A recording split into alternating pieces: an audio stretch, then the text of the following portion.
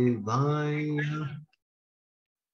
ओम नमो भगवते वासुदेवाय। सर्वत्र मेश्वरं विक्सं कैवयं मणिकेततं विविक्तचिरभासनं सन्तोषं येन केनचित्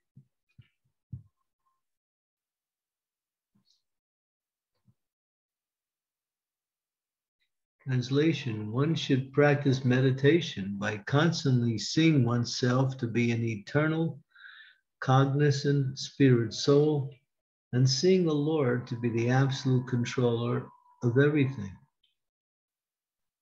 To increase one's meditation, one should live in a secluded place and give up false attachment to one's home and household paraphernalia giving up the decorations of the temporary material body, one should dress himself with scraps of cloth found in rejected places or with the barks of trees. In this way, one should learn to be satisfied in any material situation. Mm-hmm. Let's see how long the purport is before we begin. Okay, good enough.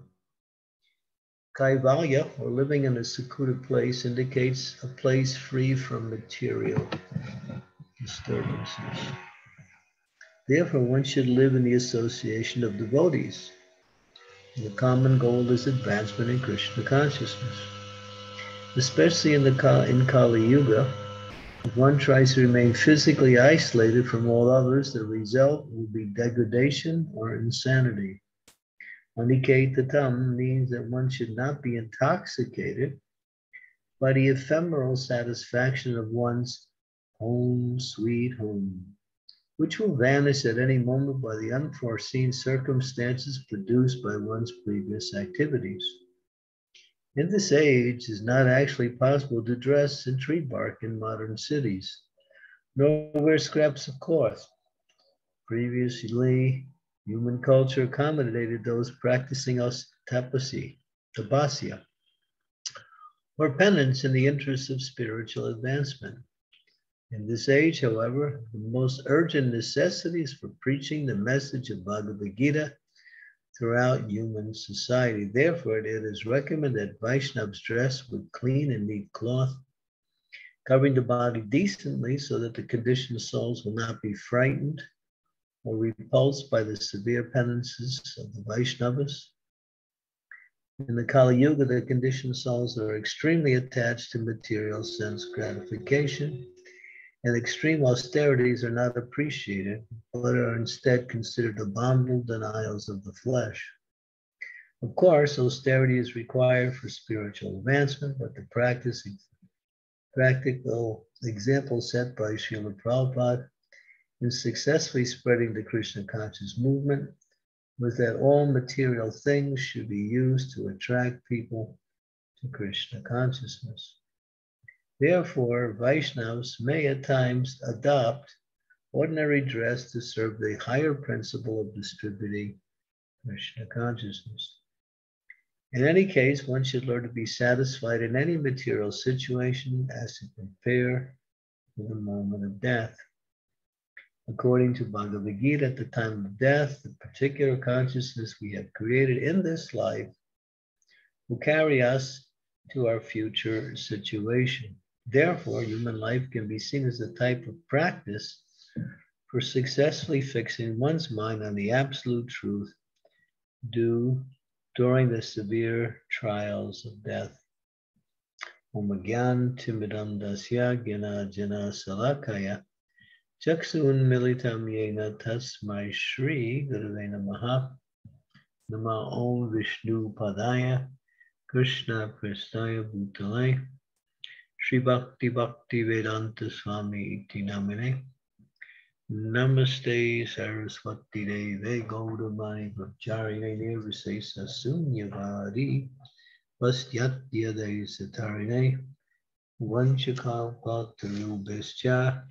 Kripa Sindhu Bacha Patitanam Pavanebhyo Vaishnavebhyo Namaho Namaha Jai Sri Krishna Chaitanya Prabhu Nityananda Sri Advaita Gadadhar Srivasadi Gaur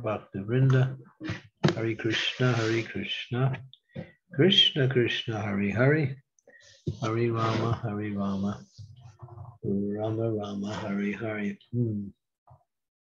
So some more uh, guidelines, instructions for detaching oneself from material life. The entire process of Krishna consciousness is two. Detach yourself from material life, material activities, material association, and attach yourself to devotees, to the process of Krishna consciousness, and to Krishna. Anything that supports these two things are considered to be uh, favorable for one's progress to go back home, back to Godhead. The process of Krishna consciousness is to gradually cut away one's material attachments and replace it with attachments to Krishna and devotional service. If we are simply practicing Krishna consciousness in order to improve our material situation, we do not understand what is the actual goal and purpose of spiritual life, which is to attach yourself to Krishna. And attaching yourself to Krishna and to devotees of Krishna and the activities of Krishna consciousness bring one to consciousness of Tyaktva Deham Purna Janma Janaiti Mamiti Surjuna, going back home, back to Godhead. Here we're seeing some ways that people can adopt in order to develop detachment.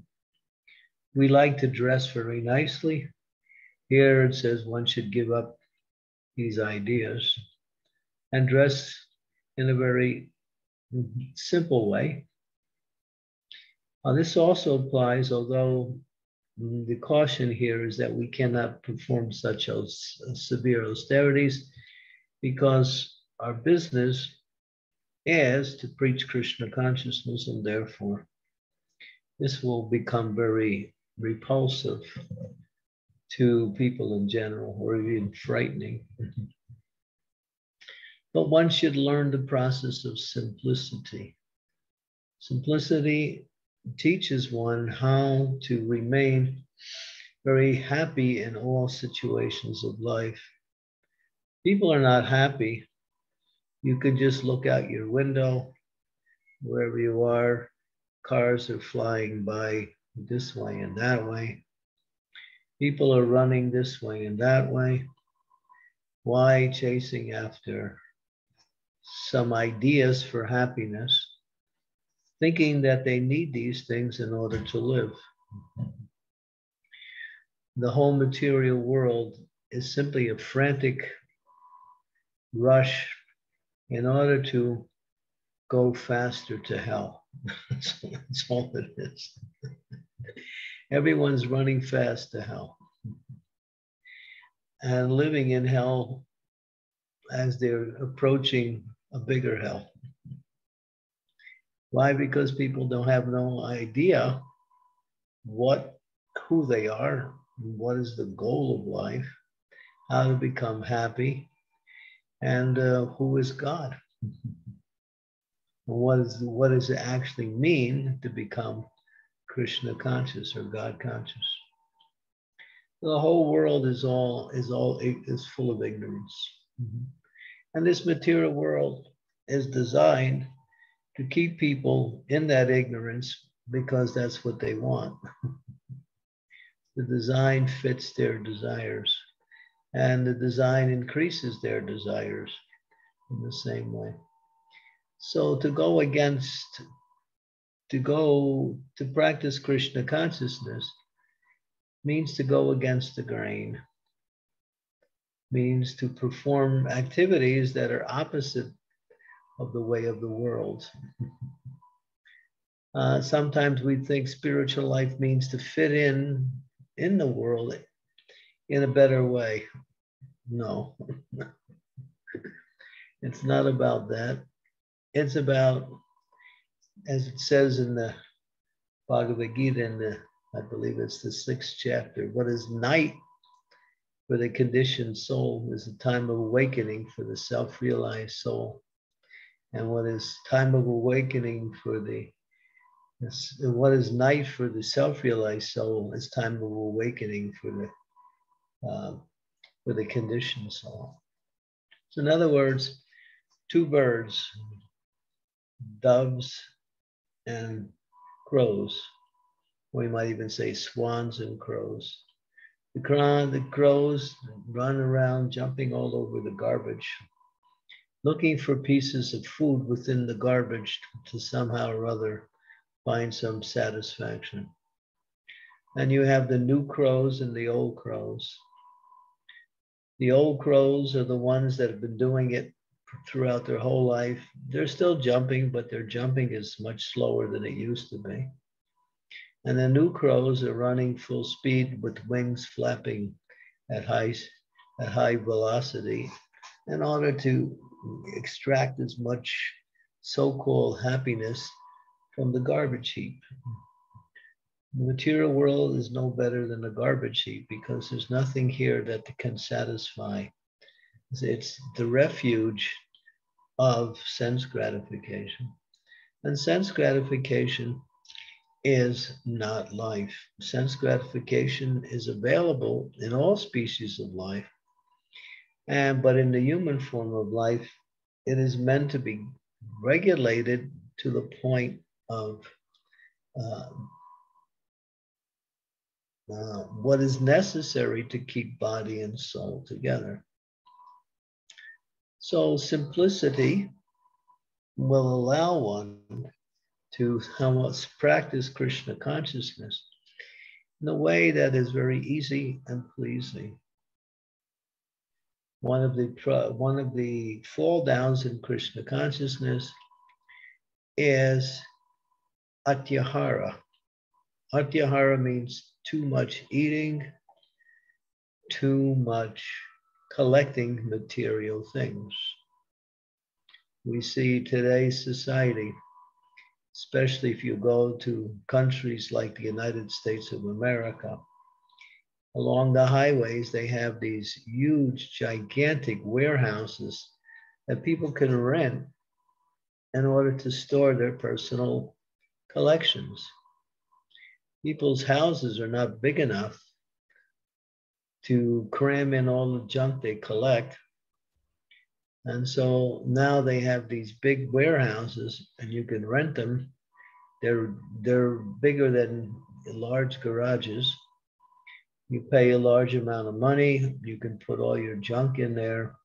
And then when you die, someone comes to clean it out. That's basically what happens. It's not an exaggeration. And so the other countries have similar types of conveniences or conveyances for uh, over collecting. And what is this over collecting is doing is just ruining the earth. They exploit the earth. You go into department stores, you go into shopping malls, the malls are stacked at the highest shelf with all kinds of stuff people don't even need. Um, it, it was mentioned in one lecture, they quoted some statistics that in the year 1850, you might say that's about 170 years ago, um, the possessions that people had were considered to be necessities to the, to the percentage of 95%. In other words, 95% of the things people had in the year 1850 were considered to be necessity. And 5% were considered to be extra or uh, not necessity. Well, or extra. In other words, you could live without that. Now the reverse percentage is there. 90%, 95% of the things people have are junk, useless, just piling it up in their house uh, and getting more of the same thing. they have to rent bigger apartments in order to store all this stuff, get bigger houses. I've been in houses that are so big that you need a map, literally, to get around the house so you know all the areas of the house that are available. garages that have four car garages. Uh, so, you know, people uh, are just insane with uh, collecting so many things. And if devotees have a similar mentality and start to think, well, yeah, I'm a devotee, and Krishna is the richest, so I should also be quite you know, well to do in my material life, and then that is a defect and an, impediment in the execution of Krishna consciousness. Therefore, it says that in Krishna consciousness, there are two impediments or defects or deficiencies which curtail the success of one's execution, execution of Krishna consciousness having too many material possessions, having too little. Too little means I can't maintain my body. I don't have enough clothes. I don't have enough food. I don't have enough health care to maintain if I get sick. I can't do it. In other words, too little uh, and too much. So therefore, we say Krishna consciousness is the middle road. The, the middle road means whatever you need to keep body and soul together. And that way you can maintain all of the things you have easily and you go on with Krishna consciousness nicely. Simple living, high thinking, as opposed to high living and no thinking. Too busy living to think. Always busy trying to maintain to get more, to protect, and no time for Krishna, or very little time for Krishna, like that. So one should be very diligent to practice this principle of simplicity in the execution of devotional service. And one will need the help of someone who knows Therefore, we should consult others when you're not sure how much you need or don't need. and there was one there was one head of state in one African country. His name was Haile Selassie. I don't know if you've ever heard of him. I think he was in the Congo. He was the head of the state in the Congo in back in the 1960s uh, or 50s, right around that time.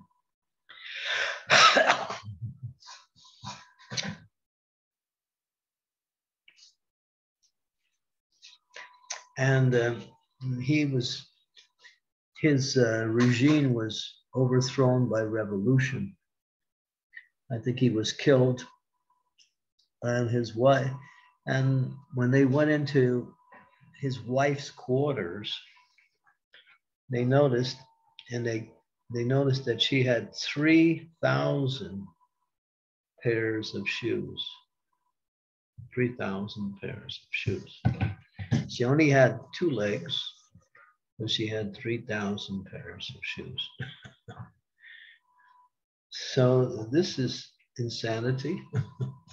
it's also raping of the resources of the earth in order to uh, somehow or other satisfy one's greed. And that's being done today. You'll see if you study the statistics, which are not so easily available, but you can find out uh, that 87% of all the natural resources that are available in society are owned by three corporations. this is today's six statistics. Three corporations own 87% of all the resources available. So this greed is a very deadly disease. It kills the human spirit and it destroys the earth and it causes one uh, to be overly afflicted with a type of activity that is destructive to oneself and to others. Therefore, devotees can learn by the mistakes of others what not to do, and therefore not to fall into the same thing. So, here it mentions one should dress in a certain way, but then the purport clarifies that one should dress clean, nice clothes, simple, attra- attractive in the sense that they are they are neatly arranged, and because uh, it says that one should eat to please oneself, one should dress to please others. Think about that one. This is from Chanakya Pandit, which is quoted by Srila Prabhupada. One should eat to please oneself, dress to please others. Sometimes we see the opposite, that people want to feed more and more and more, and if you don't eat, then they're not happy. But you know how much you need, so you it's always considered that the person can decide how much they want to eat and what to eat. And for dressing, well, nowadays people don't care how they look sometimes. They even look quite uh, something like something that came out of a horror movie or something that came out of a brothel. And they don't care how they dress. They think, well, it's my body. I can dress any way I want. But it says culture means to dress to please others. So we get the opposite in today's culture. So devotees should also dress, as it says here, with clean and neat cloth, covering the body decently so that the conditioned souls will not be repulsed or frightened in any way like that. So we have our recommended austerities, no illicit sex, no intoxication, no meeting, no gambling, and that is the negative injunctions that one must follow.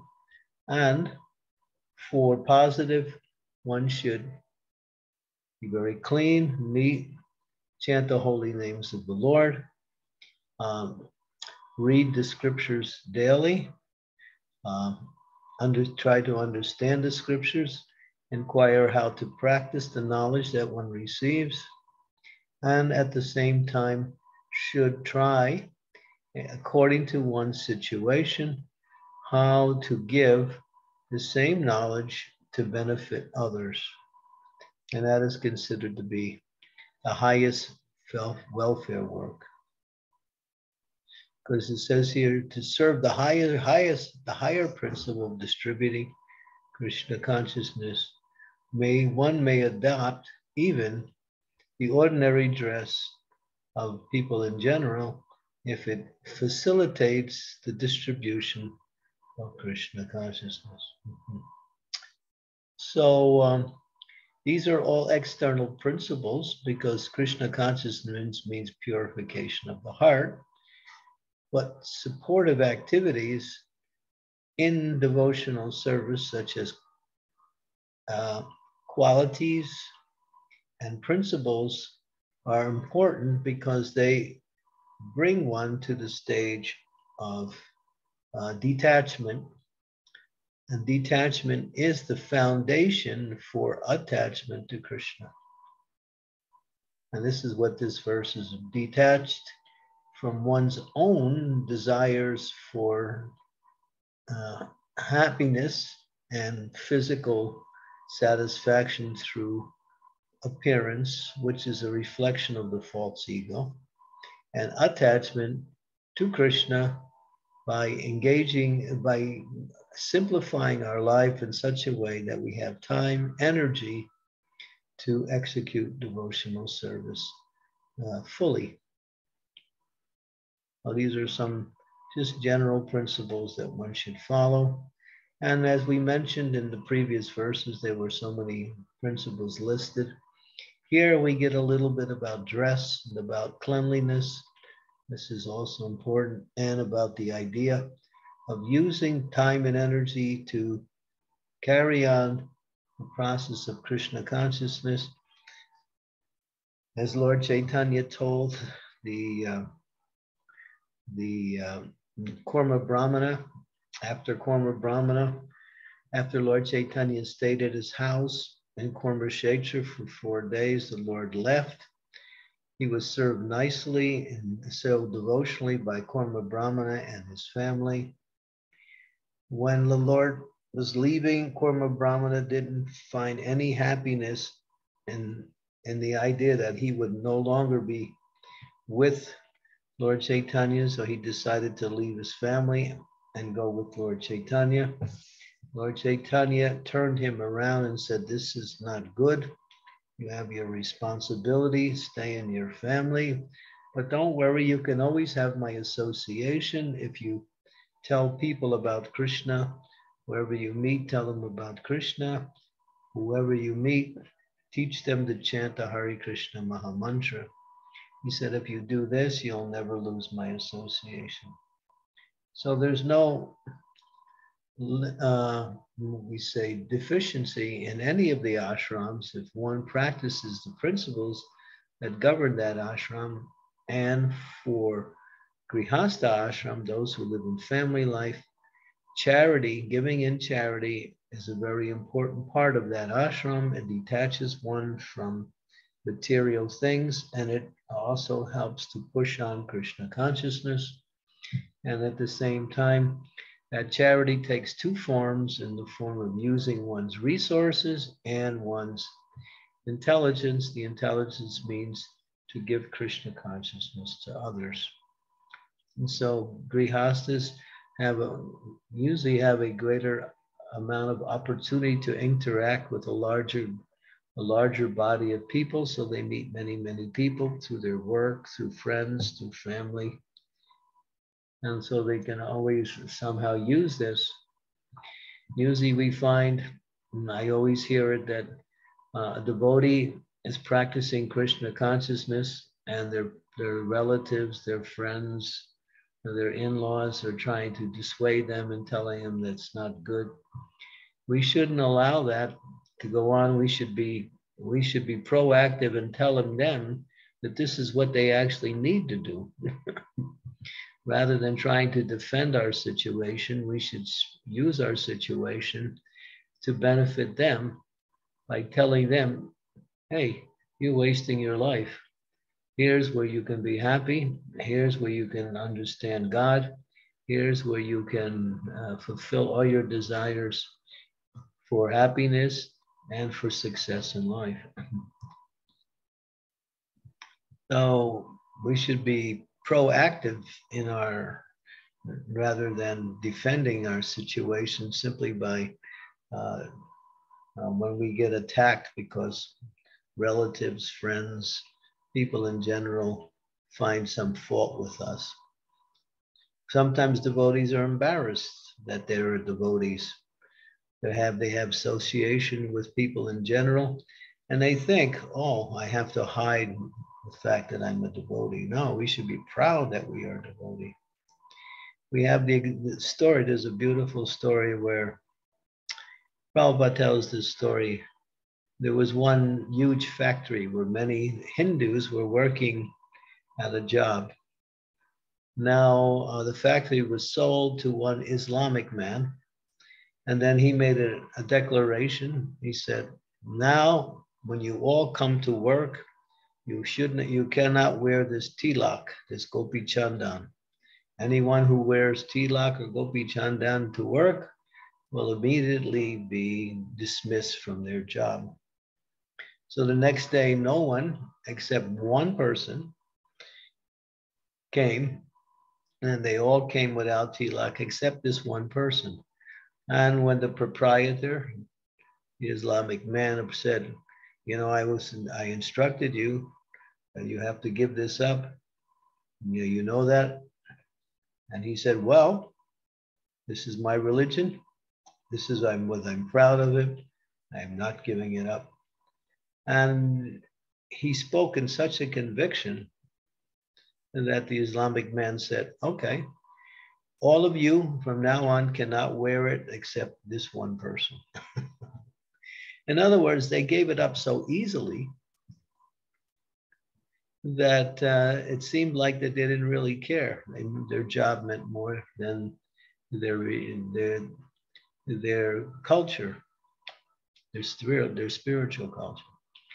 Therefore, the Islamic man was intelligent. He could say, oh, this man actually has some character, he has some values.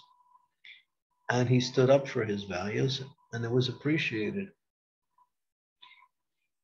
So, in the same way, we should never be, uh, what we say, afraid to be a devotee or to dress in devotional clothes when we go out when the ladies go out, when they dress in devotional clothes, they look very, very beautiful. The men can also go out with dhoti, tilak. Um, I travel that way all the time. Um, and uh, people sometimes ask me who you are, what is your religion, um, or sometimes people just don't talk to me, either one but I never find any problems. And uh, because I'm not, I'm not, I'm not feeling like I'm different. I, I just try to fit into where I am and go along with whatever I'm doing. And devotees do that also. And uh, other people might feel a little uncomfortable, but we shouldn't feel uncomfortable about ourselves. We should think, oh, this is not, as Prabhupada said, the dhoti, tilak, kurta. This is the dress of the residents in the spiritual world. And of course, the women dress very colorfully and in so many very nice ways. And that's nice. That's nice. If it's kept clean, neat, and colorful, it indicates that I am a devotee of the Lord. That's a, that is actually a way to send a message to people in general. A good message, because honest people will appreciate and fools will never appreciate anything. There's that old, there's that story where, where uh, Prabhupada tells this story. There was a man, old man, a young boy, and a horse so um, they come into the town, and the old man is riding on the horse, the young boy's walking alongside the horse. And people start to respond Oh, look at that. That young boy, he has to walk, and that old man, he's on that horse. So cruel to that young boy. So they hear, so the next town they go into, the, so they switch. So the young boy goes on the horse, the old man walks alongside the horse. And so then they start coming into the next town and people say, look at this situation. This is not right. This, uh, this old man has to walk. He's old and this young boy is riding on the horse. It's cruel to the old man. So they thought, all right. So, um, so they decided to uh, uh, both get on the horse. So the next town they walked into, the, they, they rode into, they're both on the horse. People are saying, just see that that poor horse. He has all this weight on this poor horse. They're just making that horse suffer. So they're thinking, oh, all right, what to do. So the next town, they both decide to walk along with the horse. And people start to say, oh, just see, they have this horse and it's not even being used. What a waste of time. so you get the message. You can't please people. You can please some of the people some of the time. You can please all of the people some of the time, but you can never please all of the people all the time. We want to please Krishna. so if we're pleasing Krishna, then that's all that counts. Some people will be appreciated and some will not. So we have to learn how to appreciate, please Krishna in everything we do. And that includes how we live our life in Krishna consciousness. Okay, thank you. So we'll stop there.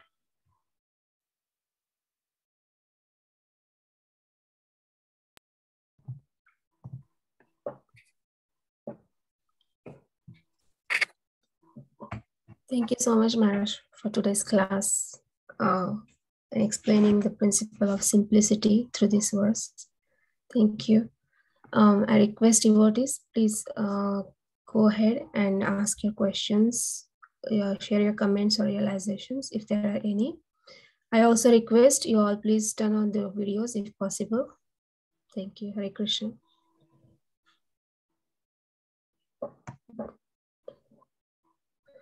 You can raise your hands or unmute yourselves.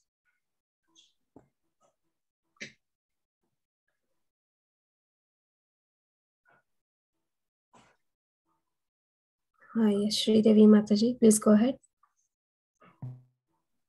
Thank you, Vrinda.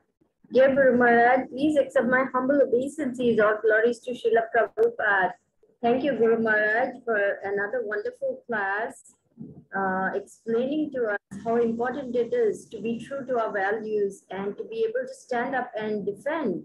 Well, I mean, to stand up for our Krishna consciousness even when we are attacked by family members or anybody. I really thought that was so important for us to deeply uh, understand and uh, incorporate into our thinking and into our lifestyle. Um, on the question of dress, Guru Maharaj, for the ladies, is it important to cover the head?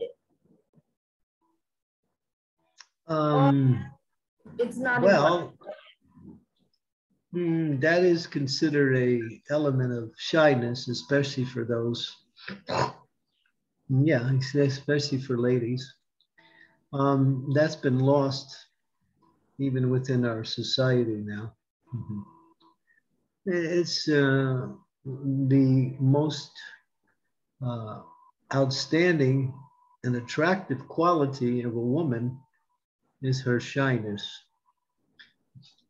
Uh, so um, these, there are certain cultural principles, traits that's sort of enhanced that in the form of dress and the form of speech, like that.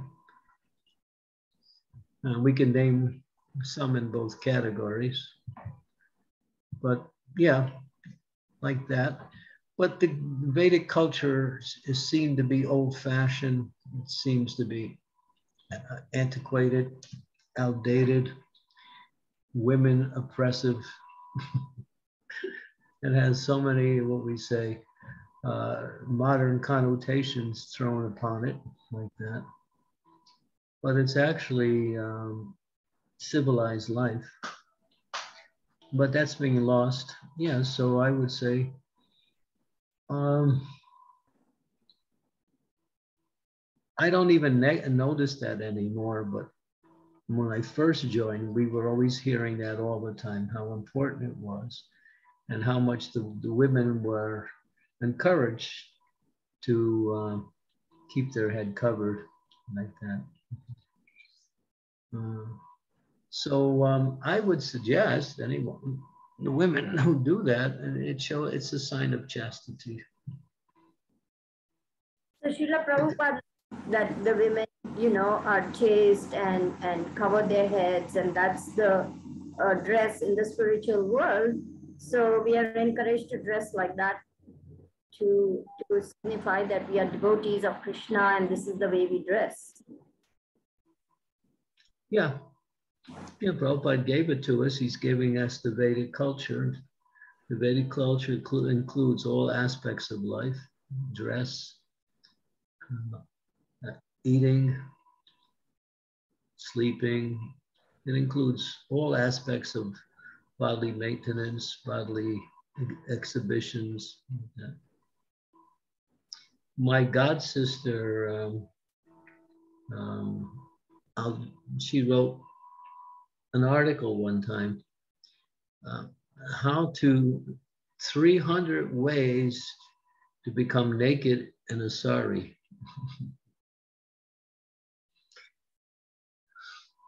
yeah, she wrote an article and then she was giving lectures to devotees in Mayapur on how women should dress. And it was quite, mm, I also attended one of the lectures just to see what was it about, was it about. And you'll see there was, she was getting a lot of uh, uh, comp- uh, what we say, what's the word? Uh, a lot of resistance. Because uh, there is a way to wear a sari in a very demure and a very proper way, like that. And there's, I guess, there are a few ways. I don't know much about this, but she she made she wrote a whole article and then started giving lectures on how women should dress, especially the young kids. Uh, they were just using it in a very licentious, not licentious, but you might say a very um, uh, covering the least amount as possible.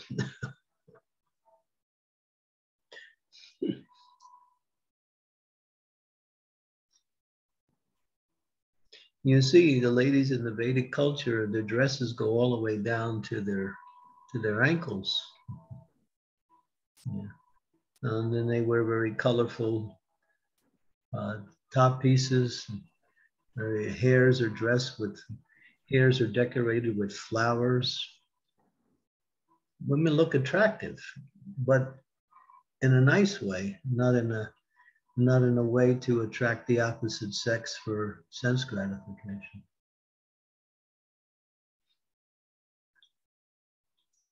So yeah, I guess we should follow, the women should follow that. I agree with that. Yes, Guru Maharaj. Thank you for pointing that out. I'm very appreciative of that and I will try to incorporate it. Thank you so much. Hare Krishna. Well, we shouldn't uh, we shouldn't persecute anyone who is not following it.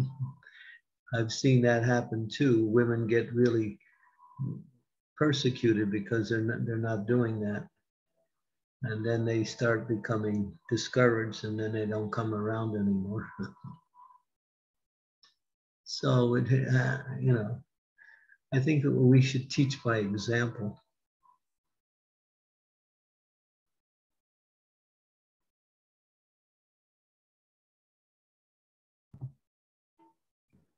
Thank you, Guru Maharaj.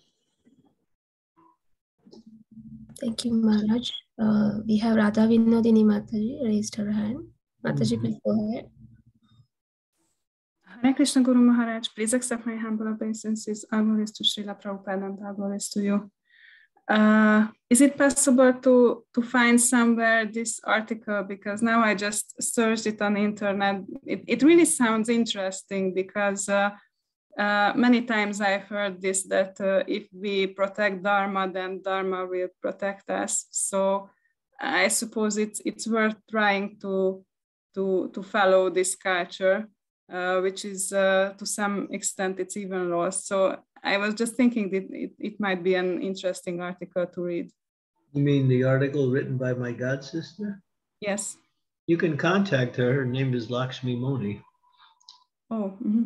You know Lakshmi Moni, right? Uh, she, she, used to come, she comes to Slovenia and preaches sometimes. Mm-hmm. Yes. She's a very, very, very senior Prabhupada disciple. Mm-hmm. She mm-hmm. joined back in the 1960s, I think, 1968. Mm-hmm.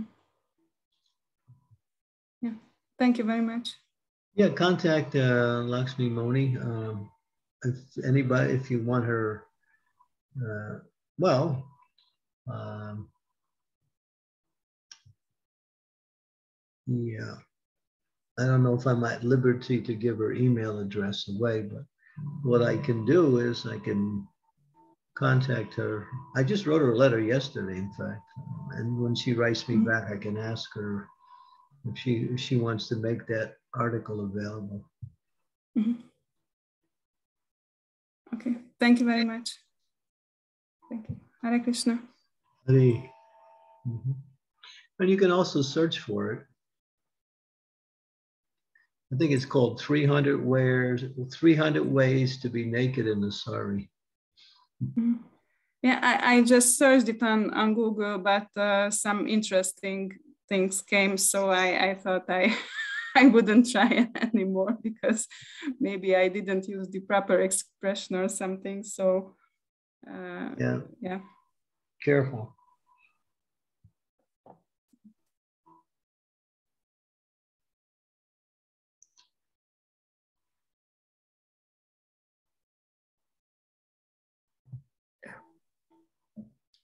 Thank you, Mataji. Um, are there any more questions, comments, or realizations? Please go ahead.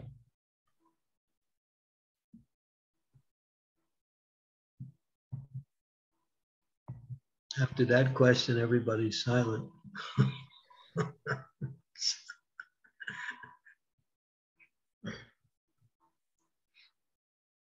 Sri Devi shut the whole program down. yes, Radha Vinodini Mataji, you have some more to share. Uh, yeah, yes, I I just another topic uh, also connected to, to what you you uh, spoke about that you mentioned that uh, we shouldn't um, uh, seek for others' approval, and um, I just had this feeling that sometimes uh, when we have this desire to to uh, receive love, we just uh, mistake it with uh, different things like fame, like others' approval and, and stuff. Uh, so what can we do in this case that uh, there is there is something we are searching for and uh, not the proper ways? Mm, the question is how to discriminate in each and every situation on how one should act and how one should dress. Is that it? Uh, no, it's it's not really about this, but uh, uh, like uh, if if I have this uh, this feeling that I'm I'm looking for others' approval, what can I do about it? Uh, well, we want to please others in, in, such a way that they'll be attracted to Krishna. That's why Prabhupada said. Mm-hmm. Yeah the gopis dress nicely because it pleases Krishna. Uh, so if we, our motivation is not to attract people to ourselves, but to attract people, attract people to Krishna consciousness, or attract people to become become interested in Krishna consciousness.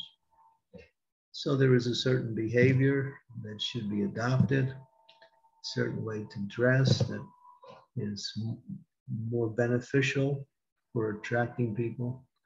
All of these things should be in, in one's consideration. Hmm. Um, yeah, and of course, as ladies, ladies always like, like to look nice, so that consideration should always be there. Prabhupada like when the ladies look very nicely, but not not flashy or gaudy or try or making a display, but looking nice, neat, clean, colorful.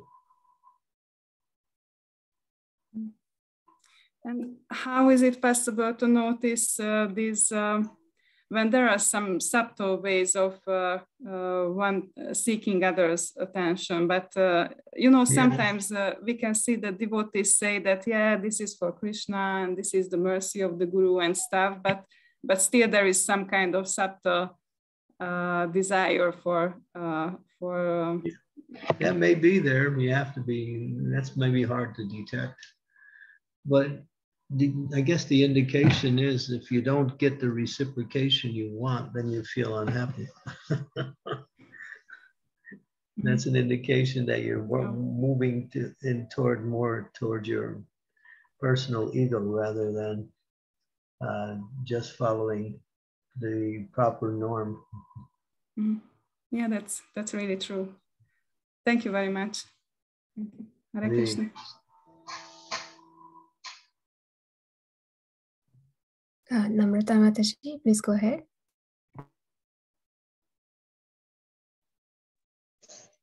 Hare Krishna Maharaj, please accept my humble obeisances. All glories to Sri Prabhupada. Maharaj, my question is about feminism, uh, which itself is a very wide topic.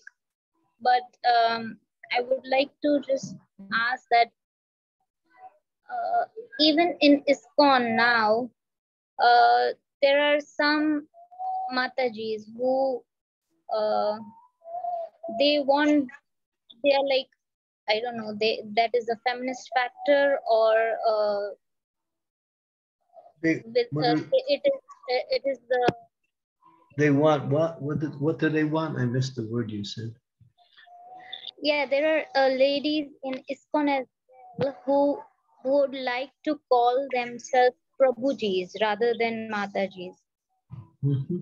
so um well so there is um you'll find if you if you check Srila Prabhupada's letters, he did refer to women sometimes as Prabhu in the letter. Uh, but he didn't make that a, a policy. Um, it's not that you be you should want to be called Prabhu, but if you call a lady Prabhu, it's not it's not wrong. I think it's if you want that if you want that, it's somewhat, you know, outside of the proper behavior. But the idea is within the context of Vaishnavas, we see each other as Prabhu. So that includes both men and women, and not just men. So Prabhupada used that. He referred to at least four or five different occasions in letters, and he also said it he called the lady Prabhu. Which means that Prabhu means master or one that means I am your servant. When you refer to someone as Prabhu, that means I am your servant. That's what it means. So uh, it's a title that can be used to be given to both men and women but it's not something that, well, if you don't call me Prabhu, then you, you know, you're in Maya. That's not the idea. That's false ego. You see the point? Yes, Maharaj. See the point. Yeah. Yeah. We shouldn't go around wanting it. We should think, but if someone calls a lady Prabhu, it's not outside of the culture. It's not outside of the etiquette.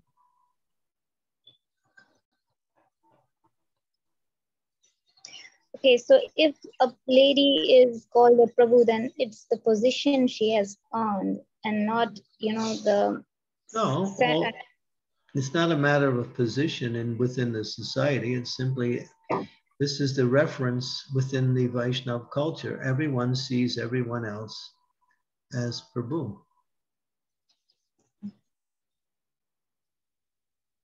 But Prabhupada, when Prabhupada, um, uh, when one lady asked Prabhupada, you can hear it on the recording, Prabhupada said, the lady was saying, yes, as ladies, we refer to men as Prabhu. Um, and uh, what was she saying? No, he, no, um, no, it was the opposite. Prabhupada said the men should see the woman as mother. Mother.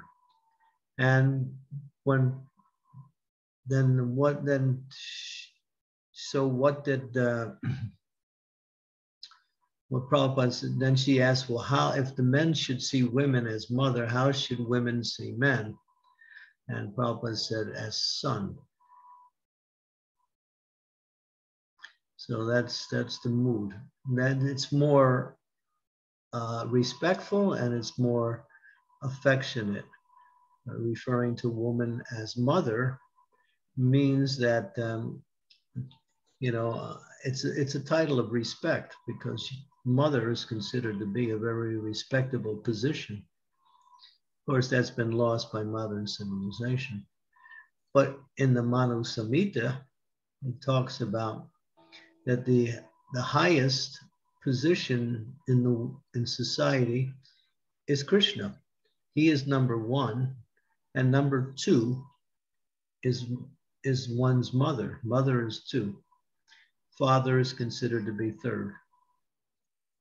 So, so women, a mother is higher than father within the context of family. Mm-hmm. She is the nurturing factor. She is the one that gives life or brings it, brings forth life anyway, and then nurtures life.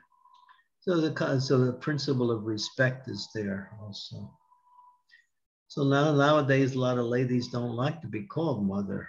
They think it's kind of like demeaning or something and the devotees don't use the term in a proper way. When you, if you refer to ladies who are growing up in India as mother, they delight in that. It's respectful. They understand it. If you take an Indian lady who's been growing up in the West and you call her mother, she's thinking, what is she saying, you know?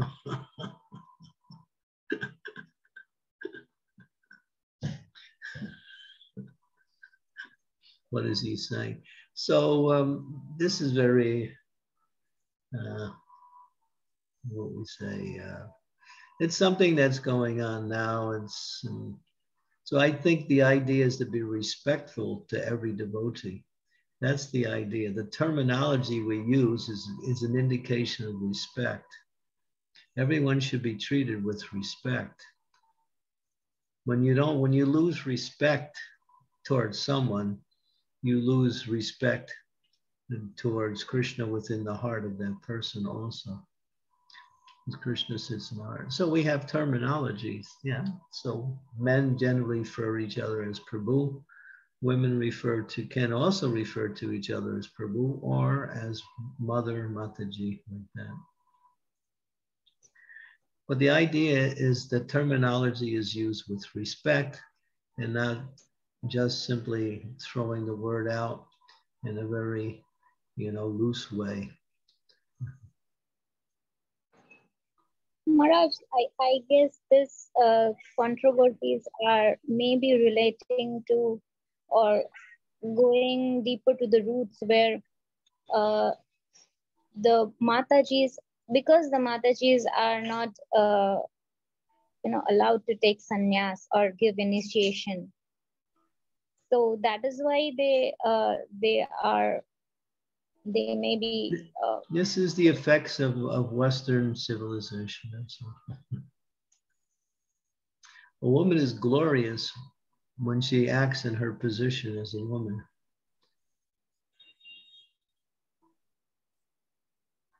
But she's not given the facility nor the treatment. In the secular society they take women out of the home. Women think to stay women think to stay in the home and be a housewife is a very demeaning and very narrow form of lifestyle. It doesn't allow them to grow properly so they have to go out and get a job and, and do everything the men are doing and that's the that's the reason why the whole world's upside down As soon as you cut the bonds of the of, of women within society and throw them into the thing, then the whole society is finished. And that's what's happening. It's been happening for a while. And women are actually exploited in the workplace. Prabhupada said, women's liberation was created by men to simply to exploit women. He said it's not coming from women, men created that in order to break the social bonds of women and to use them both as prostitutes and as uh, as uh, cheap labor in the workforce.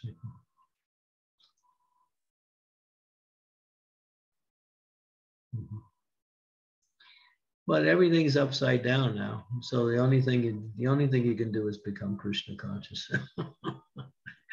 if you try to try to readjust all of these things, go back to the Varnashram system, it's not possible. Things are so upside down, it's impossible to reset it properly. All you can do is become Krishna conscious. Then you can transcend all of these bodily situations.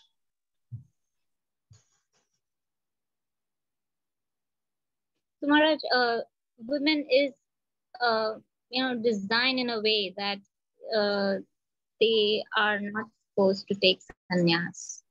Am I right? Uh, it's not recommended, but women can also practice, uh, also take official form of renunciation.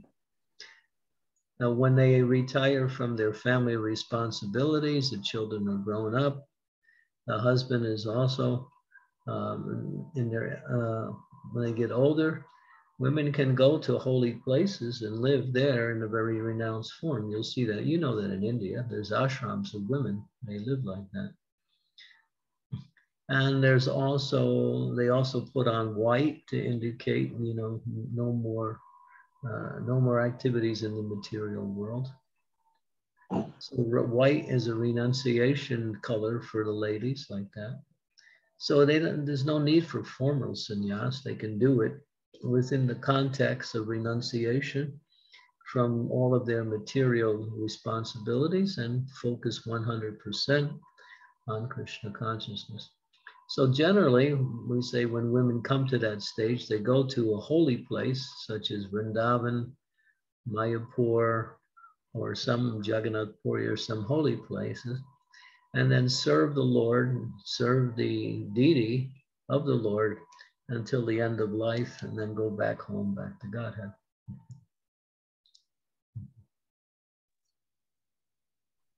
Okay, thank you, Guru Maharaj. So, uh, by this process, by the renunciation, what you're uh, saying is recommended for uh, women in in the Vanaprastha ashram. So, with with that, they get uh, another life as a, a, a male life or not they necessarily. Can they can also go back home, but they can also go back to Godhead. It's not that they have to go from women to men and then go back to Godhead. That's if they st- still have a little attachment to this material world, then they may take birth as a man. But if there if there's no attachment left and they're fully Krishna conscious, the highest form of uh, devotion is exhibited by the gopis of Vrindavan. And they were simple cowherd girls.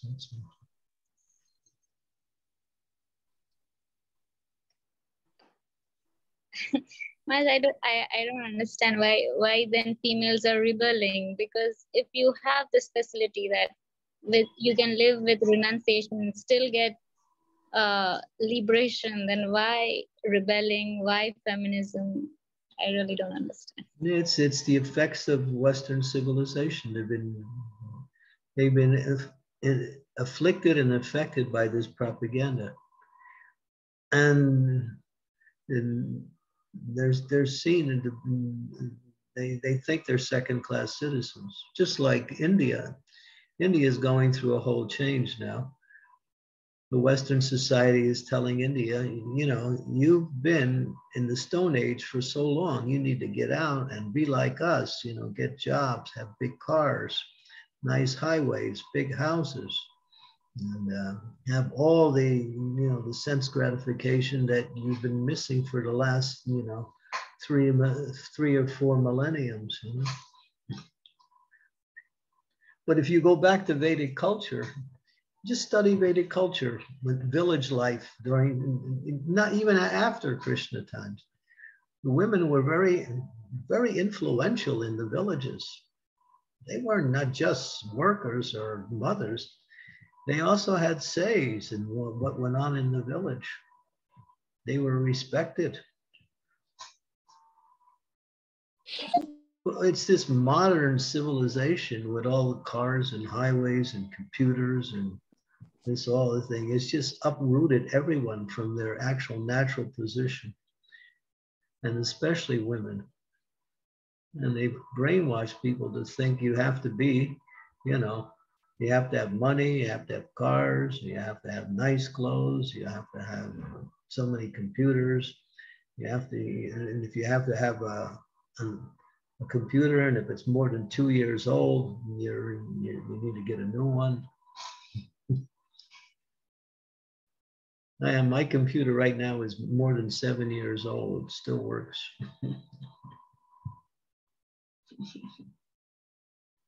I hope it still works after this class too.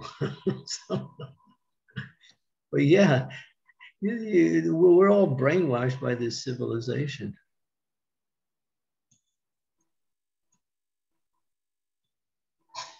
yes, Maharaj. Yes, Guru Maharaj.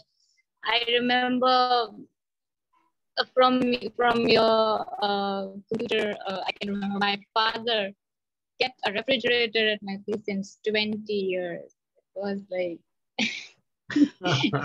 at the end, everybody was like, okay, you have to give it to the museum now. No more, uh, no, nothing more can come out of this. But still, he he used to, you know, repair it and drag it till the last breath of the refrigerator.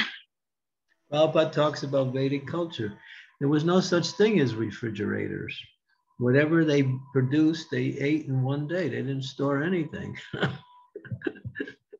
they used, they, they produced, used it in one day or distributed if they had extra. And there was no need for refrigeration. now I go into houses, I open up the refrigerator and half of the stuff falls out.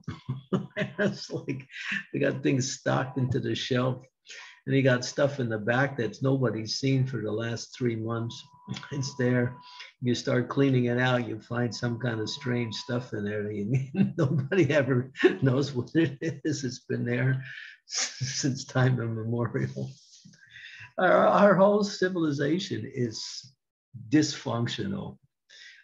It's killing the aesthetic, moral, spiritual, and physical values of the people people's health are going down, psychological problems, disenfranchised, drug addiction, alcoholism, broken homes. I mean, and, I mean, you, it's the whole civilization is dysfunctional. Why? Because it's based on the wrong principle. It's based on I am this body and sense gratification is the goal of life. And economic Gain is the way to increase sense gratification. It's, it's a very dysfunctional, very insane, Prabhupada said, it is, it is a soul-killing society.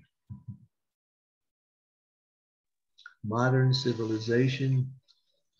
I, I give you an example. I just I just traveled from uh, I tried to travel. I traveled from one side of London to the other on Monday. It took me five hours to travel from one side and there was an accident on the highway. They blocked the whole highway. Cars were stopped for three to four hours. We were hardly even moving. Right, Sukava? You were, you were there also. Uh, it was such a disaster and finally, I left my, I left my, the place I left was at 4.30 and the ride was actually two hours. But the accident and the way they handled the whole thing was uh, I got I got to my place at about nine o'clock.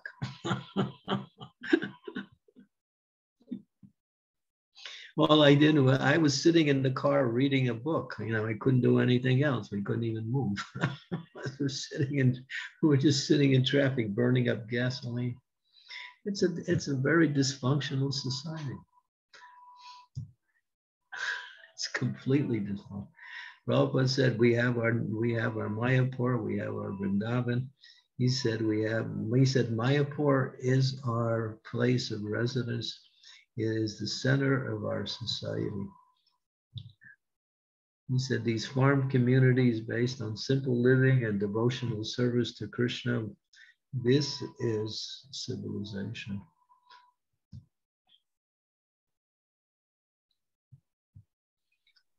Every day people die in car accidents. Every day people are, you know, people's homes are being robbed. it's, like, it's, like, it's, it's crazy. You live in an apartment, you have to have three or four locks on the door, you know. Especially those of you who live in London, we got a few Londonites here. This is one of the highest areas in the world for burglaries. So many burglaries in London, right, Kanchana? so everybody's house gets burglarized. it's a crazy society. It's, it's just why? Because there's no there's no direction. And the thing is, it's going to collapse. Sooner or later, it's going to collapse. The whole thing's going to fall. It's already breaking at the seams right now because it's it has nothing to do with human values. It's a Rakshasa society. Prabhupada said it's it's run by demons.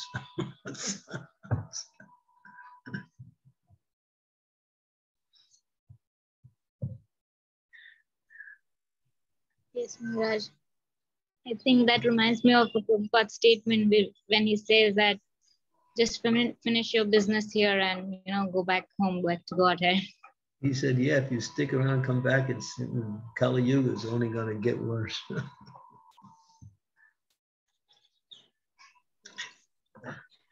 yeah, but Prabhupada gave the formula. Farm community, simple living, cow protection, agriculture. Wow.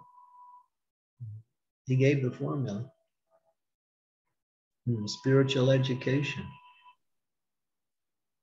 Prabhupada drew, Prabhupada covered every area of society when he presented Krishna consciousness accordingly from all angles of vision. It wasn't just the philosophical knowledge of Shastra.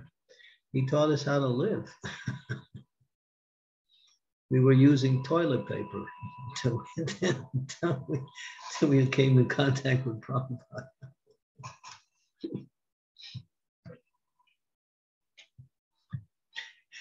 when the when the lockdown, this is a, I mean, this is this was hilarious. When the lockdown came in America, they cleaned out the shelves of toilet paper in all the stores.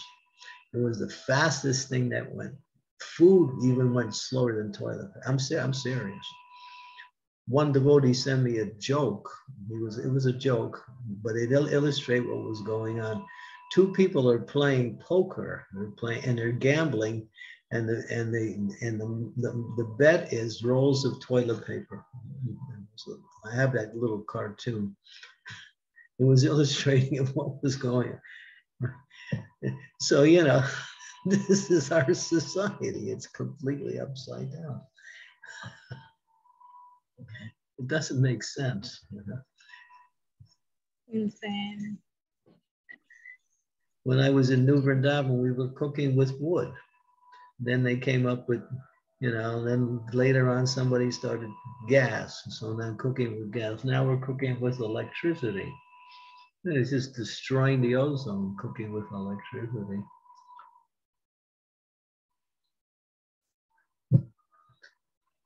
Prabhupada said first class cooking is cow dung.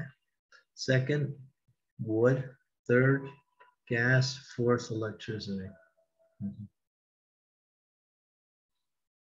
Cow dung, you know, keep cows, you, dry up, you, you take the, the, the, cow dung, you mix it with paddy, dry it out, put it in your stove, and not only do you cook nicely, but it gives a nice aroma too.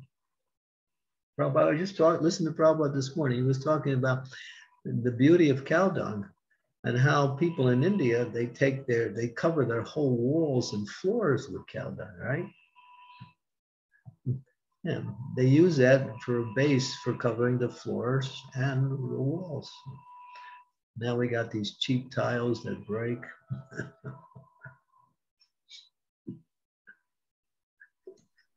plastic. Now even the money's becoming plastic. Did you notice that?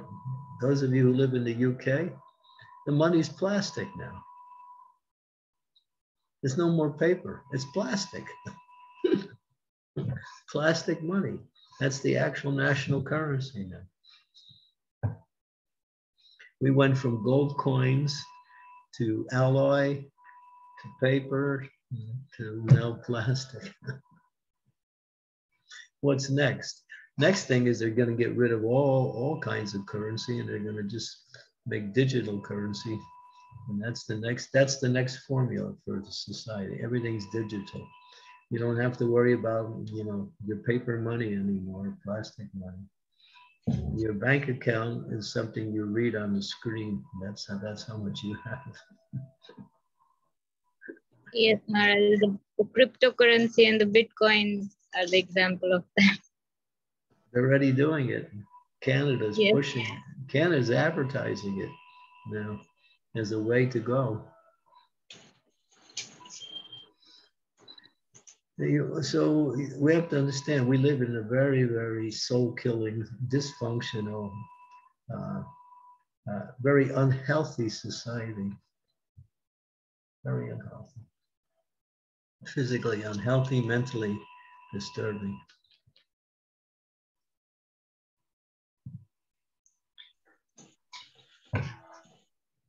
Thank you, Maharaj. Thank you, Guru Maharaj. Thank you for the deeper insight. Hare I could go on all day with this, but I, I don't want to. I don't want to harangue you anymore. So. Maharaj, Maharaj, this topic is really very deep and very vast. But you know, yes, other other devotees are lined up with questions, so I don't want to take up their time. Thank you. Thank you very much. Okay. Thank you. Thank you for your inspiring a very important topic. Hare Krishna. Devi Mataji, uh, do you have anything to share? Please go ahead. Yeah, Guru Maharaj, you know, India's culture, India's uh, Vedic civilization has been such a uh, wonderful way for both men and women to attain Krishna consciousness. But uh, today, a survey of all the nations in the world, they say India is the most dangerous place for women to be in. The atrocities against women are the highest in India, most of which do not go recorded or informed to the police because the victims are too frightened or they're even killed. In fact, the government at one time took out a law that within seven years, if a young bride dies, um, under mysterious circumstances, automatically the husband and the in-laws will be thrown into jail because of dowry debt. They have to prove that they are not guilty because the dowry debts were so high that it was assumed that they have either poisoned her or thrown uh, kerosene over her and set her on fire and uh, you know finished her off because of not bringing enough dowry so the atrocities against women, the abuse against women is horrendous in India. And uh, foreign tourists, especially women, are warned not to be alone with Indian men, not to be alone in a hotel room, not to go anywhere with Indian men because uh, the, the men commit so many atrocities against women. That's just what I wanted to say because Namrata was pointing out, oh, women rebel and rebel this. But uh, that's a backlash against what's being done to the women. Uh, mm-hmm. husbands, fathers uh, uh, are not really taking care of the girl child. In fact, the highest rate of abortions was for female infanticide because it was a girl child. The abortions were taking place because they didn't want uh, her, the mother, to have a girl child. So they were mm-hmm. killing the baby in the womb. Yeah, I, uh, someone's knocking at my door. I'll be right back. One minute.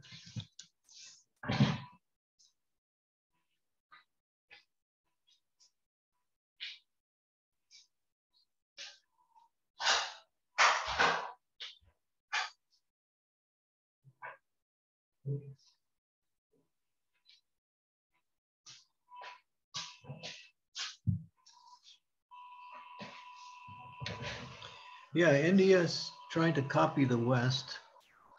Of course, this women abuse is, goes back many, many decades. It's not something new. And uh, India is also one of the highest rates of heart attack in the world.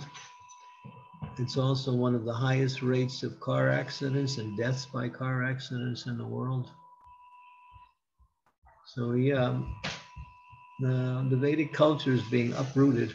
And but Prabhupada said it's not possible that India can be modernized like the Western civilization, he said, because the culture, the atmosphere, the environment, everything is contrary to uh, developing as the, as the Western cultures have, have developed.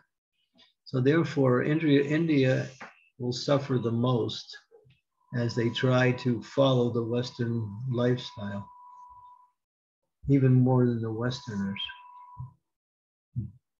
And you're giving, you're getting some of the results right now. This is just a small part. It's, it's already happening now. Now, Prabhupada said India's material advancement is artificial. It's artificial.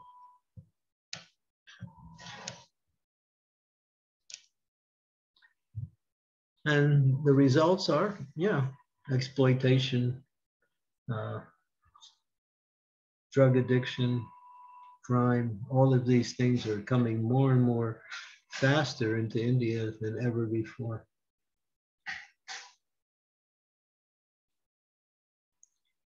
I, I've been I've been going to India since 1993, I think.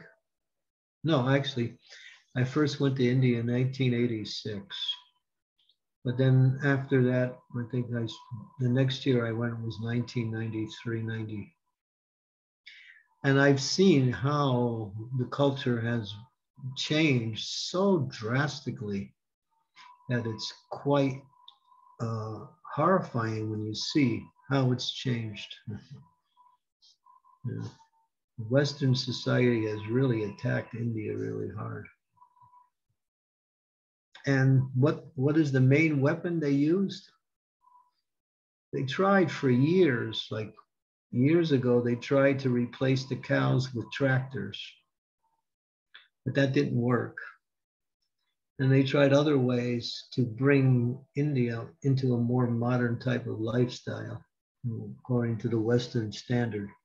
That didn't work. But then they found the secret television. Television came in and that did it. Bollywood television, and then they threw that, and people start becoming attracted and enamored and then a whole different culture of life lifestyle started to be pervaded not only as entertainment but as a way of life. And now in the last 20 or 30 years no no more than that 40 years india is really becoming abominable in some ways.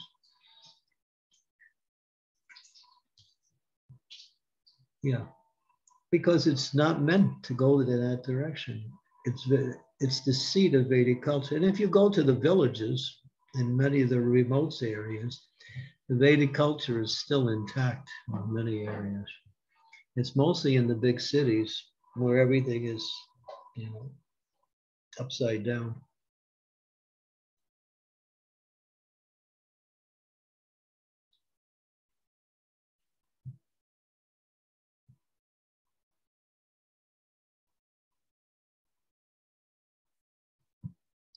Yeah, so, well, the whole world's going to hell anyway. And then Prabhupada said, this Lord Chaitanya's movement is the only thing that can save the world. And he said, it will save the world. Prabhupada said, he said, the, the, the Lord Chaitanya's movement will save the world in its darkest hour. So it's going to get darker and darker and darker. But at the same time, Lord Chaitanya is pushing his devotees forward, take responsibilities to change the world. because we have the formula, we have the lifestyle, we have the knowledge, we have the philosophy, and we also have the resources, uh, gaining the resources. And intelligent people are following, at least to some degree. It's not that we have to go back to a complete Vedic simplistic lifestyle. We just have to present Krishna consciousness as the foundation for the values and the activities we perform in, in the world. In other words, um, for, like we use an example, uh, people earn money. Why? So they owe more money, more facilities, more opportunities for power, sense gratification.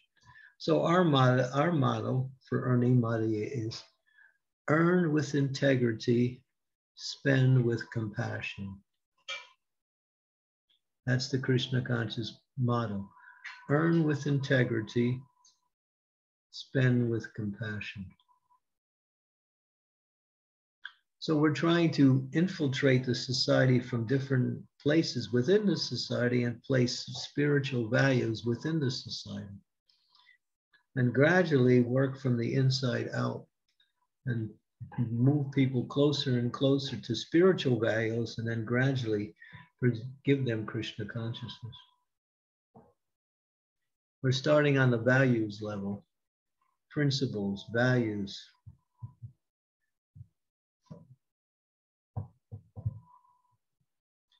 So that's our movement, at least, and it's working in some places around the world quite good. And Prabhupada's books are the foundation by which we do everything in Krishna consciousness. Prabhupada said, everything you need to know, I'll read it here. I, I got it, the statement is right there. I'm in uh, a wonderful devotee's apartment. Her name is Vrinda she's so kindly let me use her apartment while she's going to be going away on on her uh, trip to see her spiritual master. But it says here, she puts these nice quotes on the wall. I'm really enchanted by here. It says this is one by says whatever I have wanted to say, I have said in my books. If I live, I will say something little more. If you want to know me, read my books. If you are strong in your position by reading books, Vedic literature, then you become very, very favorite to Krishna. Bhagavat is the only guide. Read Bhagavat repeatedly, life, safe, always, always. Whenever there is time, read, read, read. These are statements by Prabhupada. So Prabhupada put everything in his books. Especially the Bhagavatam.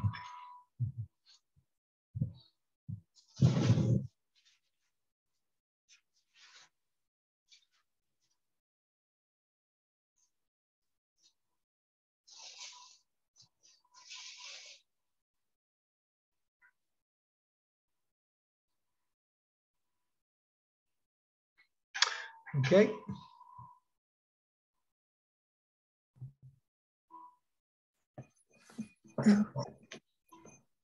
Thank you so much, Maharaj, for all this question answer session.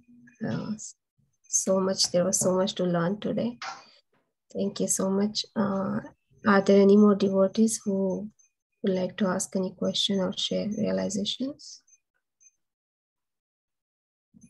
I will, I will go, Dave.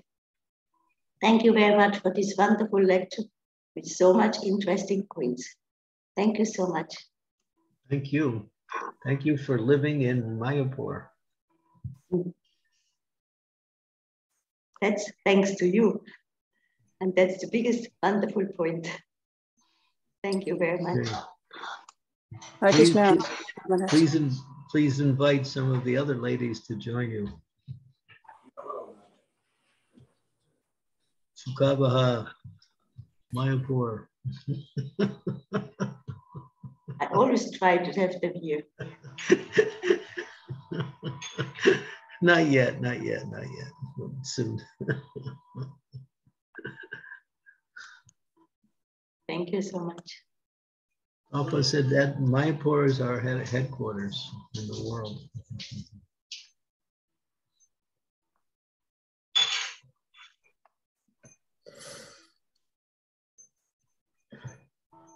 Hare Krishna Guru Maharaj, uh, please accept my humble obeisances. All goes to Prabhupada. Thank you so much uh, for a very nice class and nice discussion. Um, I just want to uh, remind you about tomorrow's class. Um, that is with the ISKCON Harrisburg Devotees class, Guru Maharaj. Uh, the topic is Srimad Bhagavatam, first canto, 10th chapter, 8 words, 1.10.8. Thank you. Mm -hmm. Thank you, Guru Maharaj. So it will be 12 p.m. UK time and uh, 7 o'clock Eastern and uh, 6, 6 o'clock Central. Okay, very good. Same time. Thank you very much. Hare Krishna. Thank you. All right, so we'll see you all tomorrow with Srimad Bhagavatam 110.8. Okay. Thank you so much, Maharaj, for today's class and your time and association. I also thank all the devotees for joining today. All glories to Srila Prabhupada. Thank you. Hare Krishna. Hare Krishna. Thank you, Rinda. Thank you, Guru Maharaj. Hare Krishna. Hello, Sukama. Thank you, Guru Maharaj. What are you going to cook for me? what do you want to eat, Guru Maharaj? Khichdi. Khichdi, okay. I'll get it. That's all I can eat nowadays. Sure. Soup?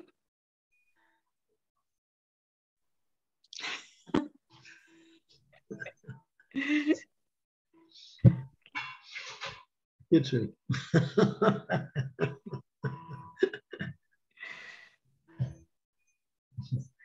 Hare Krishna. Srila Prabhupada Jai. Thank you so much, Guru Maharaj. Hare Krishna.